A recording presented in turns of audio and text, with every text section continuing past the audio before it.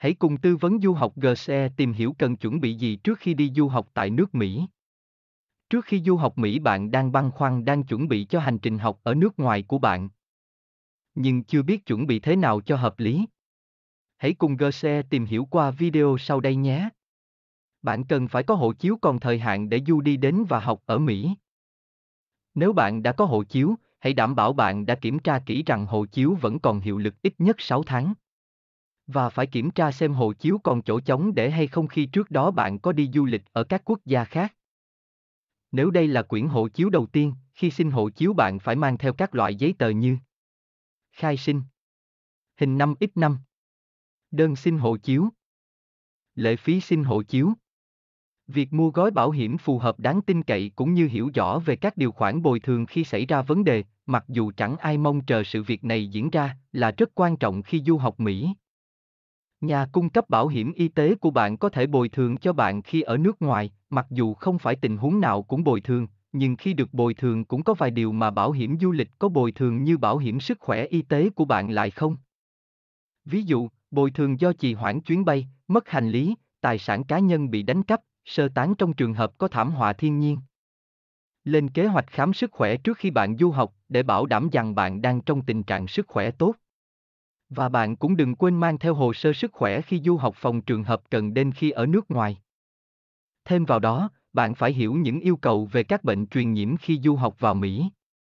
Đặc biệt đối với Mỹ, các bệnh liên quan đến phổi sẽ luôn là yêu cầu khắc khe khi bạn xin visa du học tại nước này. Và nếu bạn có tình trạng sức khỏe đặc biệt cần phải có thuốc được chỉ định của bác sĩ, bạn có thể phải mang theo đủ thuốc cho toàn bộ thời gian trên máy bay của bạn. Và các loại thuốc này phải được dán nhãn để tránh nhầm lẫn đây là các loại thuốc bất hợp pháp khác. Hãy dành một ít thời gian làm quen với việc học ở nước ngoài của bạn bằng cách tìm hiểu về văn hóa, lịch sử, địa lý, kinh tế, chính phủ nơi sắp sửa trở thành nhà của bạn trong suốt khóa học. Như vậy thì kinh nghiệm sống ở nước ngoài của bạn sẽ tăng lên và thời gian bạn lưu lại đây sẽ càng có ý nghĩa hơn. Bạn có thể nói chuyện với những người đã từng đến Mỹ và tìm cách xem các đoạn phim hoặc đọc về văn hóa Mỹ. Và hãy nhớ học những điều cấm kỵ khi giao tiếp sinh hoạt với người bản địa, ví dụ không được chỉ ngón cái vào người khác hoặc khi ăn không nên tạo nên âm thanh xì sụp. Hiện nay, việc kiếm vé máy bay giá rẻ đã trở thành một bộ môn nghệ thuật của việc tính toán thời gian và may mắn. Giá vé máy bay có thể chênh lệch rất lớn tùy vào thời gian bay và nơi bạn mua vé.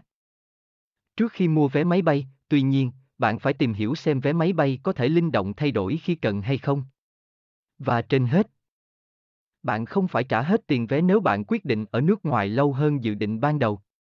Chúng tôi cũng khuyên bạn không nên đến Mỹ chỉ trước vài ngày so với khóa học bắt đầu. Nếu bạn qua Mỹ sớm hơn một tí bạn sẽ có thời gian để khởi động, điều chỉnh bản thân thích hợp với môi trường mới và cũng có thời gian để bạn hoàn toàn hồi phục sau chuyến bay dài. Tuy nhiên đến quá sớm cũng có thể gây một số vấn đề về nhập cư với chính phủ Mỹ. Một vài cách bạn có thể thực hiện để quản lý nguồn tiền tốt hơn trước khi đi du học. Tạo một tài khoản trực tuyến. Nếu bạn chưa có tài khoản, hãy tạo ngay một cái, nó sẽ giúp ích khi bạn học ở nước ngoài. Bạn có thể dùng ATM hoặc thẻ tín dụng để rút tiền ngay khi cần thiết. Nhớ phải thông báo cho ngân hàng hoặc công ty tài chính của bạn rằng bạn sẽ đi nước ngoài du học. Bạn cần phải báo việc bạn đi học nước ngoài cho ngân hàng hoặc công ty tài chính, nếu không bạn có thể sẽ bị khóa tài khoản trong lúc bạn đi du học. Mang theo tiền mặt. Trong những ngày đầu mới sang Mỹ bạn nên dự trù một khoản tiền mặt cho bản thân, vì những ngày này bạn sẽ cần dùng tiền nhiều mà việc đi kiếm ATM hoặc ngân hàng thì lại chẳng dễ gì. Nếu bạn quên đổi tiền đô trước khi đi thì bạn có thể dùng cây ATM ngay tại sân bay để rút tiền. Tùy vào mỗi tiểu bang mà bạn đến sẽ có những biệt ngữ riêng biệt. Nếu được bạn nên tìm hiểu những từ ngữ này để dễ dàng làm quen với người bản địa trong những ngày đầu mới sang Mỹ. Ngoài việc xem các biệt ngữ, bạn cũng có thể cải thiện tiếng Anh của mình bằng cách tải những phần mềm hỗ trợ dịch thuật giữa ngôn ngữ Anh và Việt khi cần thiết. Và hãy cố gắng nghe các bài luyện mỗi ngày để nâng cao thêm trình độ cho bản thân. Bạn sẽ kể cho mọi người ở nhà nghe về cuộc sống mới như thế nào. Đa số du học sinh chọn hai cách sau, điện thoại và máy tính. Đối với điện thoại, đừng chọn gói cước quốc tế mà bạn hãy mua SIM ngay khi tới Mỹ để gọi tốt hơn và rẻ hơn.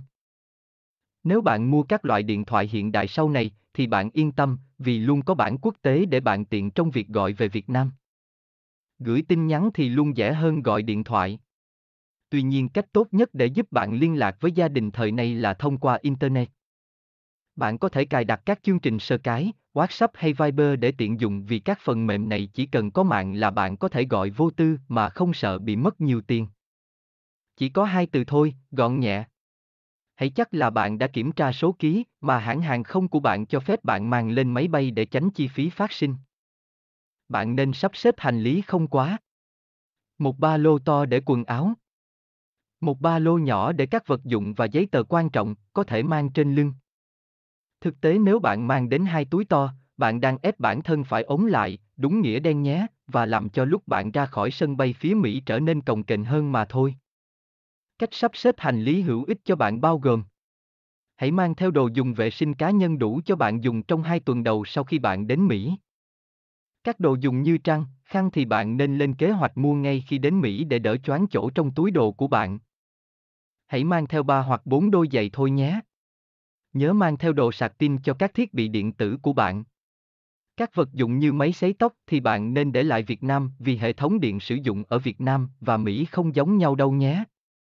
Bạn nhớ mang theo một số vật dụng thân quen để tránh nhớ nhà. Nếu bạn có mang kính hoặc kính sát trồng thì bạn phải mang theo một cặp kính khác kèm theo. Bạn nên hỏi phía trường bên Mỹ bạn cần mang theo những vật dụng gì, và nên nhớ có rất nhiều đồ vật bạn muốn mang theo đều có bán ở Mỹ. Hãy chú trọng về thời tiết của Mỹ lúc bạn sắp sang học để biết cần mang theo trang phục nào cho phù hợp. Mặc dù tạm biệt gia đình là khoảnh khắc rất khó để vượt qua. Nhưng đó lại là phần không thể thiếu trong chuyến đi của bạn. Hãy cứ nghĩ về những điều tuyệt vời mà bạn sắp sửa được trải nghiệm.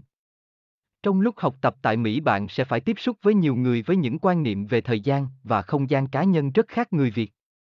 Hãy sẵn sàng học hỏi và quan sát những điểm khác biệt này với tinh thần không phán xét. Vì điều này cũng góp phần tạo cho bạn tìm hiểu về những nét văn hóa của ngay cả người Việt mà trước giờ bạn chưa biết đến.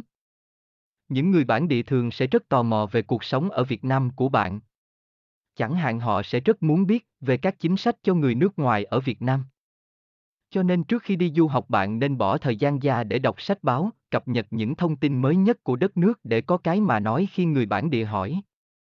Có thể bạn cũng sẽ phải cho người thân bạn bè biết về những điều bạn sẽ trải nghiệm ở đất nước mới để họ có thể hỗ trợ bạn vượt qua được những thử thách khi sống tại một môi trường xa nhà hoàn toàn xa lạ này.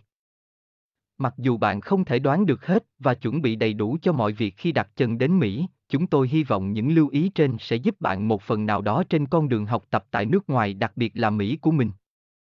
GC là công ty tư vấn du học uy tín hàng đầu tại Việt Nam.